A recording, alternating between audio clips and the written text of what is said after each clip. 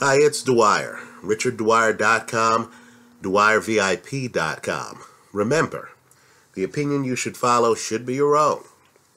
Just consider this video to be a second opinion from a complete stranger online.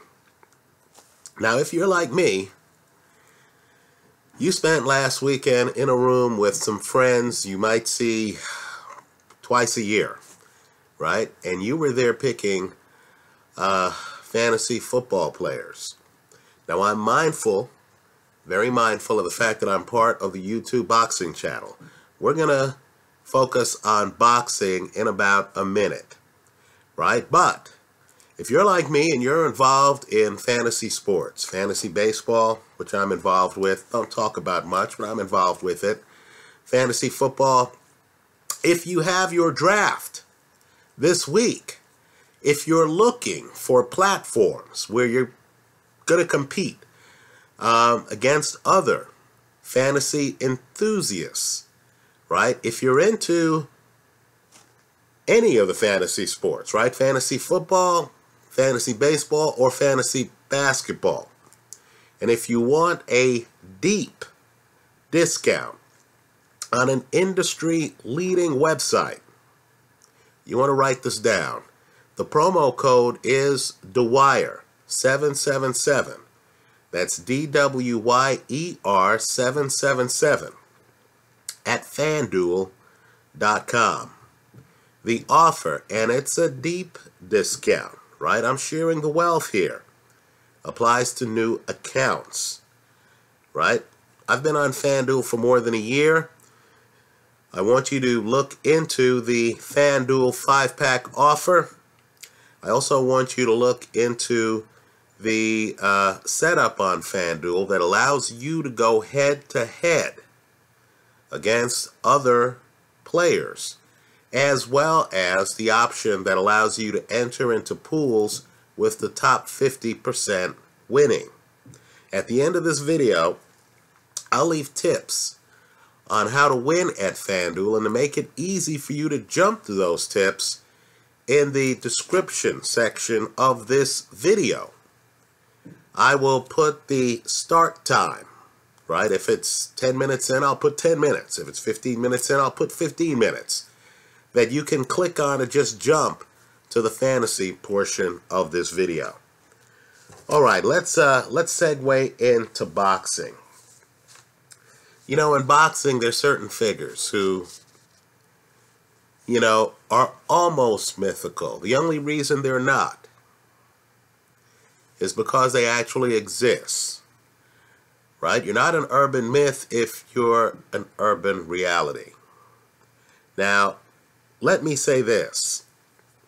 One of the intriguing parts of the Golovkin story is that he ran into such an individual in the finals of the 2004 Olympics. Right? Golovkin did not win the gold. He won the silver. The guy who beat him was Gaidar Bek, Gaydarbekov, right, from the Soviet Union. Now, understand, this guy is a bit legendary. He won the Goodwill Games. He won the European Championship.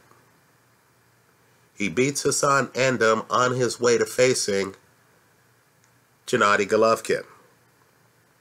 He comes out and loses the first round, right, Olympic scoring, 6 to 2. Right, 6 to 2. From there, over the next three rounds against Golovkin, rather than run away from Golovkin. Believe it or not, he wrestles with Golovkin. He's not hiding. He's in front of Golovkin. The two men grab each other a lot. Golovkin's on his front foot. He's not bashful.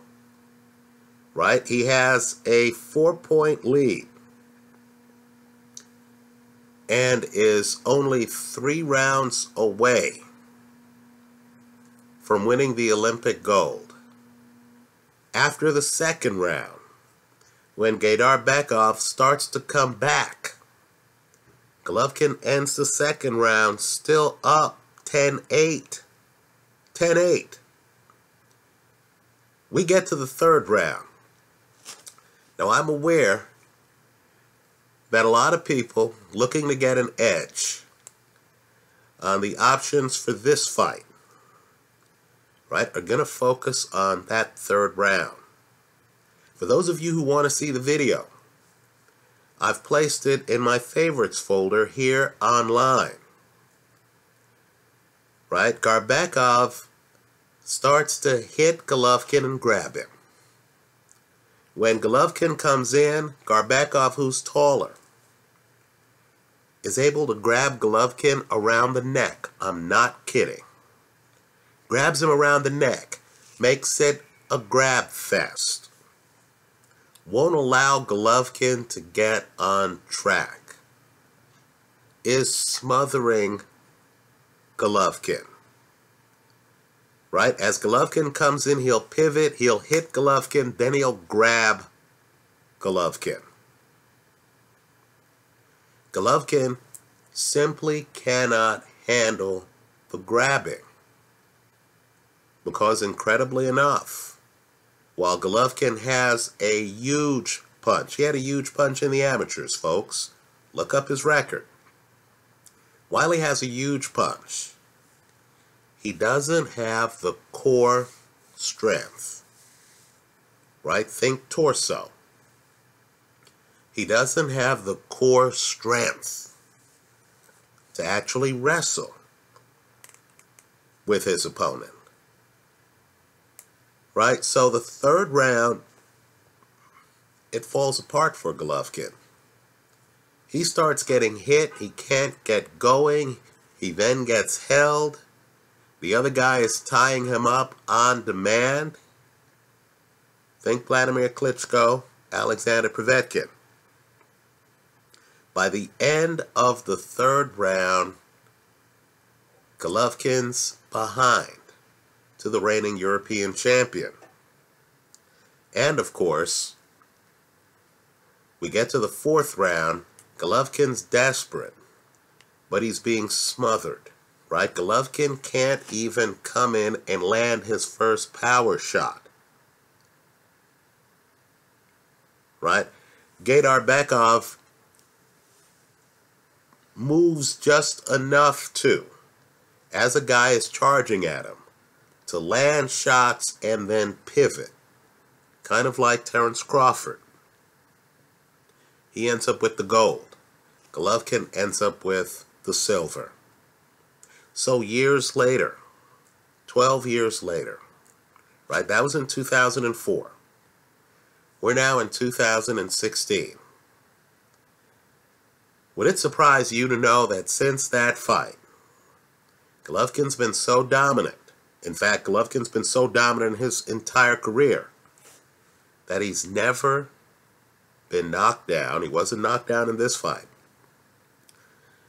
as a professional or as an amateur. Right? Think about it. Gaydarbekov, Goodwill Games winner, Olympic gold medalist, never turns pro. Right? This was a different time in athletics. He never turns pro right? Now, why it's relevant today is because I've come across pieces just in doing research like everyone else here online where people trying to get an edge are looking at Kell Brook's fight against Shawn Porter where Porter, like Golovkin, in the 2004 Olympic finals, can't get going. Where Porter jumps in and Kell Brook grabs him. Right? That Kell Brook win over Porter had a lot of grabbing. Right? Had Kell Brook tying up Shawn Porter a lot. Not allowing him to get going. Right? The argument is that Kell Brook from this 2004 Olympic final has the blueprint on how to frustrate Golovkin. And the argument goes that Kell Brook has the skills, as he showed in the Porter fight, to execute that game plan. If Kell Brook could tie up Shawn Porter time after time after time, and he does a better job of it, quite frankly, than Keith Thurman would later. Right? Keith Thurman's forced to fight. Right? Kell Brook constantly is grabbing Shawn Porter's arms. Right? Shawn Porter isn't able to get off the runway in that fight. The argument is why can't he roughhouse Golovkin the same way? Especially since we're hearing that Kell Brook, 30 days before the fight, is in the 170s. Right? You look at Golovkin, you see his weights, He's not a big middleweight. He's not Julio Cesar Chavez Jr. He's not a guy who weighs in the 180s and then miraculously loses 20 pounds to make weight. Right? Golovkin was something like 166 or 165 30 days before this upcoming fight. So if you follow the Kell Brook crowd, the crowd that believes the upset's going to happen, one of the arguments, and to me it's more intriguing than the argument of Kell Brooks staying outside and, you know, looking like Ray Leonard against Marvin Hagler, right? Showing us a bevy of hand speed and movement. I don't think that works at all. Right? This argument, though, is interesting. Right? This argument is more of a look at the film. Look at the Olympic film. Why can't Kell Brook pull that off? Hasn't he in his first world title fight? Well, let me just say a few things on it. I think Kell Brook loses this fight badly. What do I mean by badly? I mean that I don't see how Kell Brook makes it through this fight without hitting the canvas or being stopped. Right? Let's talk about why Kell Brook can't follow Gaydarbekov's blueprint. Right first, and I know it's going to sound ridiculous, but in my opinion, fights like the fight that Golovkin had in the Olympic finals really only happened to a fighter once in his career. Right? I'll give you an example. In the Rumble in the Jungle, Ali used the rope-a-dope against George Foreman. Right? Who was dominant champ. People need to realize George Foreman destroyed Kenny Norton. Destroyed him right, knocked him out, right, after destroying Joe Frazier, right? In the entire 1970s, those are two of the best fighters out there at heavyweight. Foreman destroyed them. Foreman, for whatever reason, fell into the trap Ali set for him. Right? As Ali covered up, Foreman kept throwing punches. Right? Foreman wasn't thinking in terms of stamina. He saw an older fighter in front of him. He knew that Ali had lost to Ken Norton. Right? He he knew that Ali had lost to Joe Frazier. The very guys Foreman had destroyed. Right? So Foreman fought a silly fight. Well, Ali never gave Foreman a rematch. For the rest of Foreman's career, is there any fighter against George Foreman who successfully used rope-a-dope tactics? Right? Older Foreman, when he came back, knew to pace himself. He wasn't going to throw himself out. He figured out by his own admission that he could hit Michael Moorer early in their championship fight. He chose not to. Because he said, look, if I hit him with my Sunday punch early in the fight, he's going to survive it. Right? Because he's rested. Then he'll stay away from me the rest of the match. I want him close to me in the later rounds. Foreman waited until the later rounds to dole out the punishment. In other words, he had learned from his mistake. Now, if you're Golovkin, of all of the fights you've had in your career, and I'm sure he has his hit list of the fights where it meant the most to him. I'm guessing this Olympic final is something he probably remembers every round of. Every round. Right? It was his chance at the gold. And I'm sure looking at the film, he's figured out look, I was too obvious. I kept diving into the pocket. Right? I, I played into a clincher's game plan. I kept giving this guy an opportunity to clinch me. So just as I don't expect Alexander Povetkin to ever fight the fight he fought against Vladimir Klitschko ever again, where he kept running into clinches, right? I don't expect Golovkin to make that mistake. In fact, in one of the best YouTube videos on boxing here online, Dante's Boxing Nation has a clip of Golovkin talking to his stablemate, Sullivan Barrera. They're in a gym. Abel Sanchez, their trainer, even hops in the video uh, to help the fighters. Right? But Golovkin spends that video showing Barrera how to not get clinched inside right? He, you know, Golovkin comes up, he sticks his head under Barrera's chin, right? It's a Dante's Boxing Nation video, right? And Golovkin is showing Barrera how to pivot.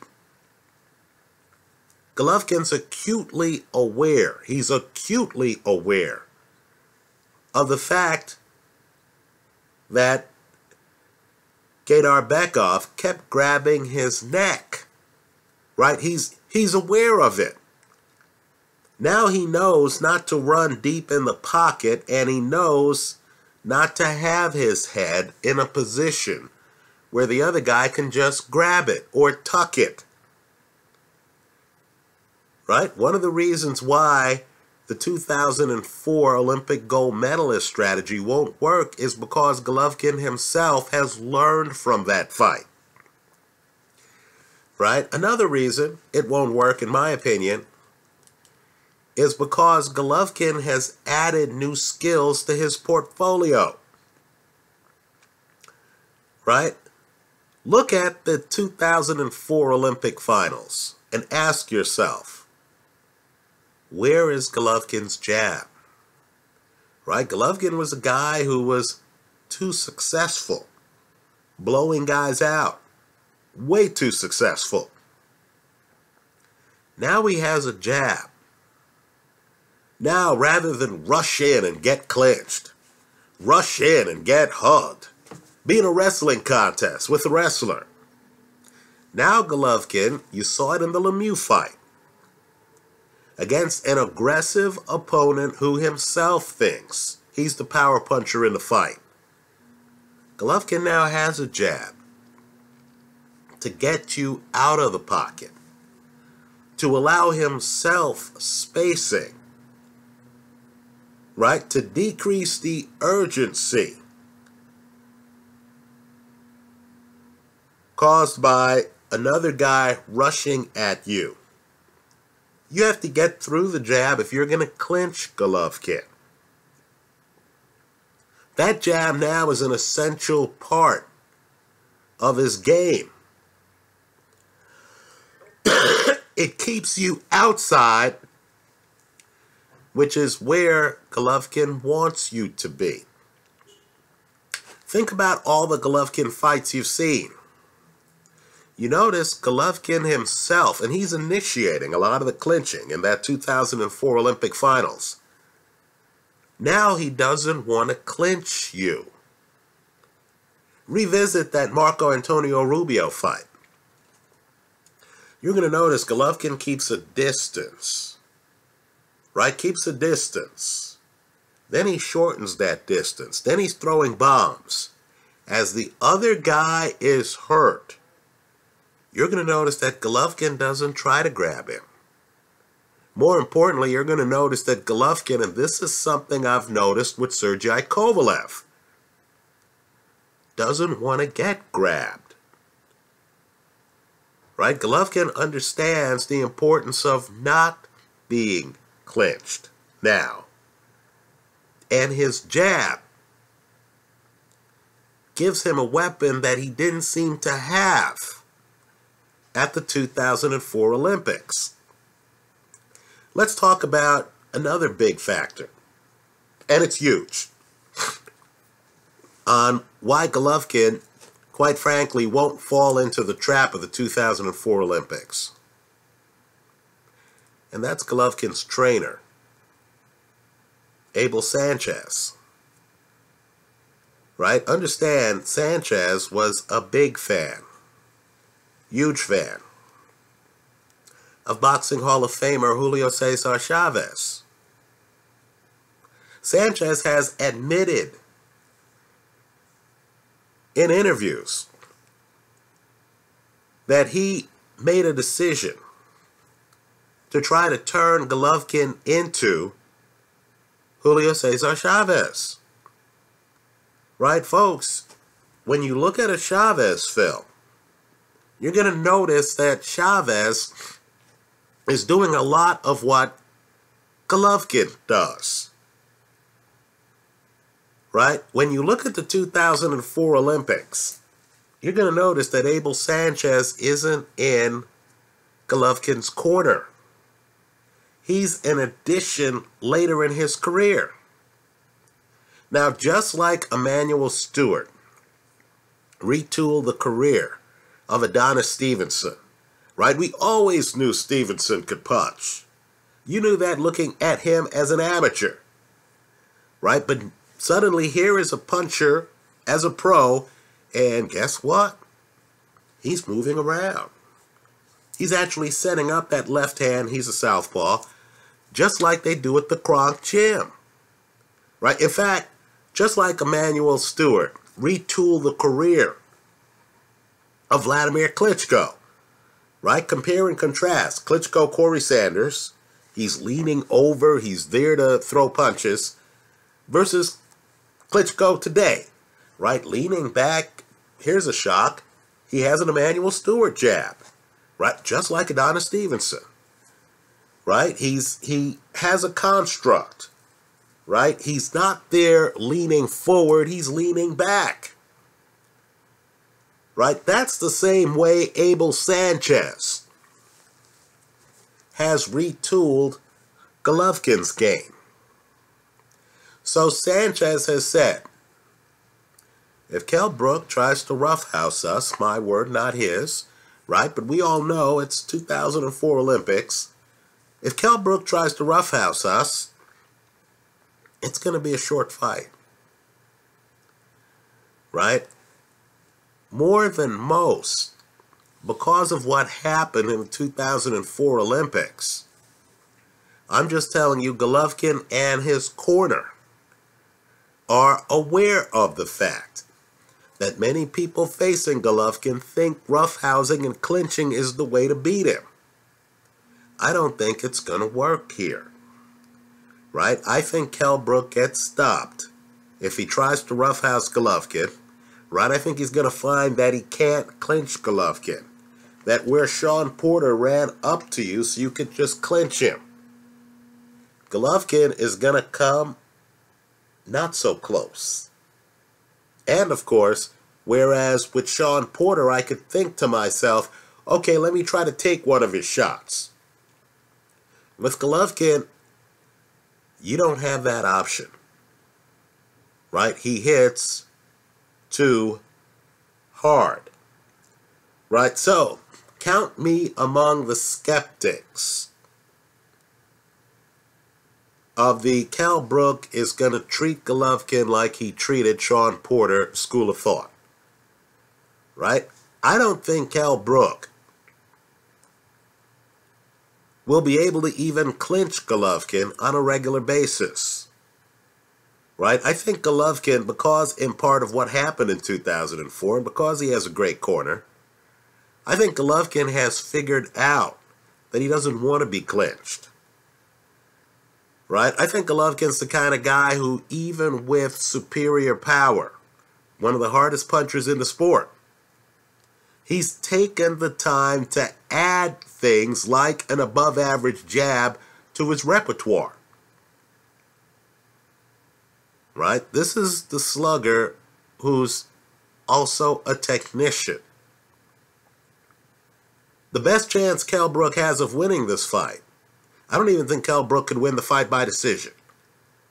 The best chance Kell Brook has of winning the fight, quite frankly, is by waiting for Golovkin to swing and miss, to leave himself open, like he did against Daniel Geale, and then to come in with a short straight punch that closes the show. Right? Golovkin does leave himself open. He does open. Uh, he does overcommit on punches from time to time. Right? Kell Brook's only shot is a home run punch when Golovkin leaves himself open. I don't believe he can methodically outbox Golovkin. I don't believe he can roughhouse Golovkin. Let me hear from the boxing hardcore on that. If you're a Kell Brook person, if you're one of these people buying all these stories about Kell Brook bringing in experts and you know, expert nutrition. And if you're one of these people who believe that Kell Brook, who has no body fat on him, right? He's not Chavez looking, you know, a little soft, Chavez Jr., right, who could lose 20 pounds. If you believe that Kell Brook's sculpted physique is going to easily lose the 16 pounds in 30 days, and that Kell Brook's going to be the faster fighter, and Kell Brook will have his choice of strategy on fight night, then I hope you leave those comments in the comments section to this video. Right now, here at the 28 minute mark, let's segue into fantasy football, just a strategy on trying to get an edge on FanDuel. Let me point out that FanDuel is the deep end of the water. You have a lot of savvy people on FanDuel. If you visit FanDuel every day, you're going to see a lot of the same names, right? People are paying their bills using FanDuel, right? Understand, you can make money on FanDuel. You can make a lot of money on FanDuel betting one or two games, right? Or rather, playing in one or two games. The odds are that high, right? People are, you know, literally putting up bounties. You're playing against other fans. It's not really a, uh, you know, house that you're playing against. But understand, people have events on the site that are worth thousands of dollars. So, with regard to FanDuel, I believe to get an edge, you need to be knowledgeable. And I don't mean a casual fan's knowledge base. I don't mean the guy at your fantasy pool who shows up with Fantasy Football Index, who has a listing of the players courtesy of, you know, CBSSports.com or what have you, who thinks he's going to be balling, right? That's first grade stuff everyone at a fantasy pool has a ranking of the players, don't they? No, you need to be a little bit more knowledgeable, and the knowledge has to be real time knowledge. So I personally believe that before you participate in these online fantasy pools, I believe you need to make sure that you have a modern phone that allows you to download apps. Right? Don't rely on ESPN.com. What I want you to do is to think about Bleacher Report's app. I want you to think about Scores app. I want you to think about CBS's sports app because you need information in real time. Right? You need to be the person who by the time you log on to FanDuel, you already know that Teddy Bridgewater is out for the year. Right? By the time you log on to FanDuel, you need to already know not just that Le'Veon Bell suspended for three games, but you need to know that his backup is DeAngelo Williams and he's healthy right? You need to know these things. I believe that that requires a commitment every day of, I would say, at least half an hour. Just cycling through the top stories on these sports apps and focusing on specific players who you feel are undervalued. Right? Everyone knows the overvalued players right? Trust me, I was at a pool, and by overvalued, I'm not saying the guy doesn't have talent, but let's just say we already know the guys who people are going to pay top dollar for. So I'm at a pool, and oh, here's a shot. Pittsburgh wide receiver Antonio Brown went early. Oh, Cam Newton went relatively early. Right? People obviously in a FanDuel context are going to pay an arm and a leg for players like that you need to be savvier. You can't pay half of your payroll for the obvious superstar.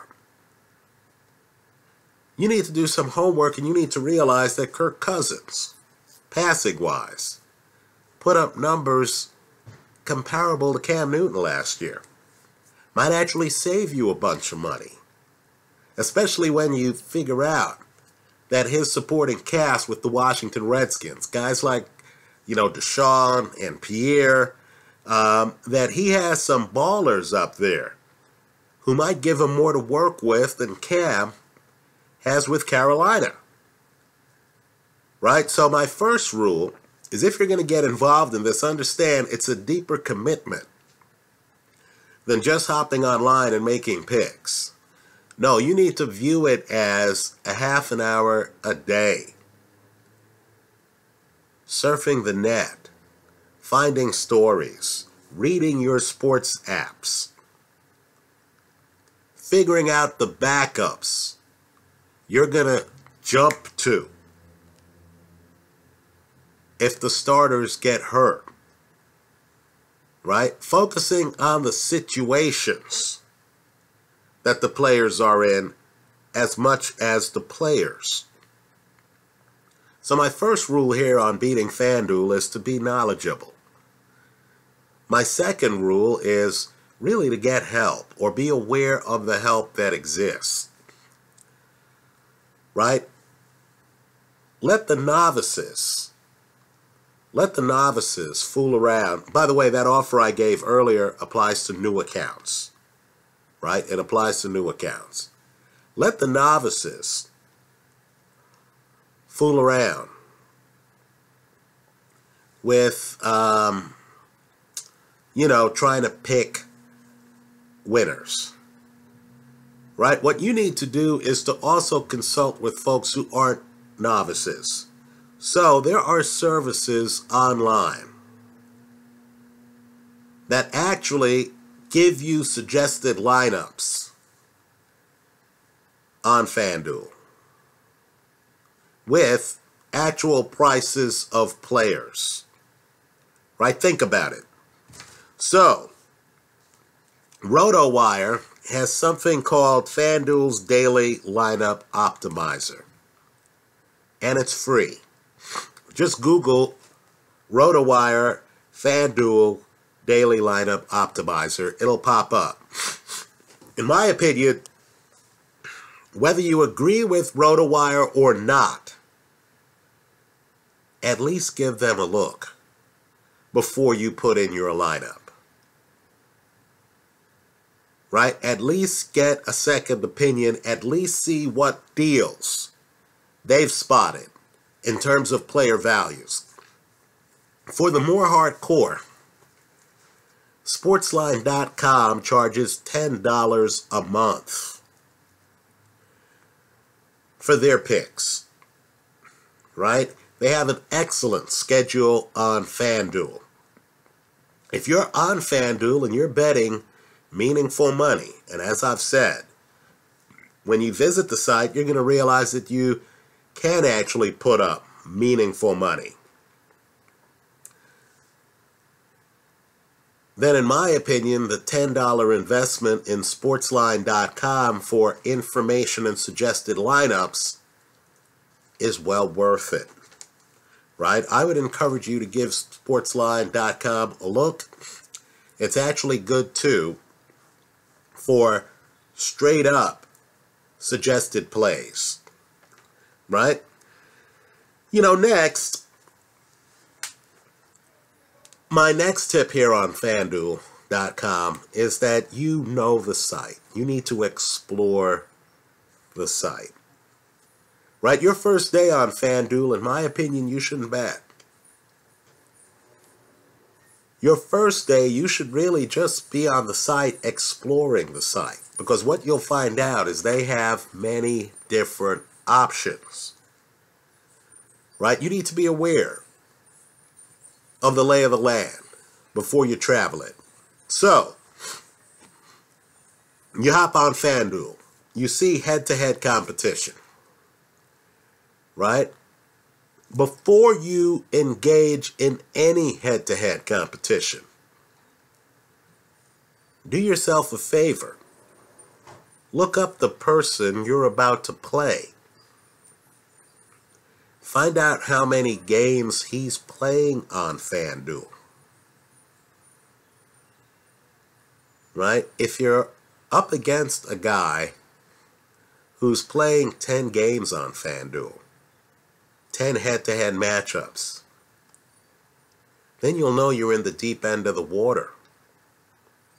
Right? That might not be the opponent to pick, especially if the guy's a high-stakes player. Right? Figure out, too, FanDuel has a lot of these tournaments. Now, my favorite way to play FanDuel is head-to-head.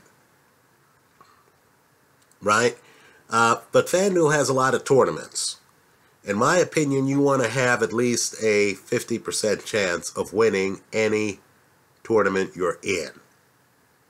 So FanDuel has top 50% winners tournaments where they say, hey, everyone get in, the top 50% will win. Great.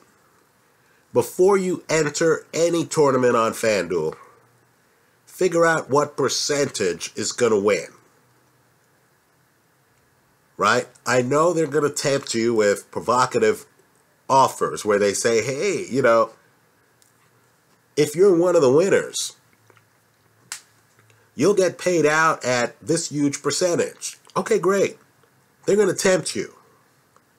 Your focus should be on winning, not on return early on. Right? You need to figure out if you're good at it.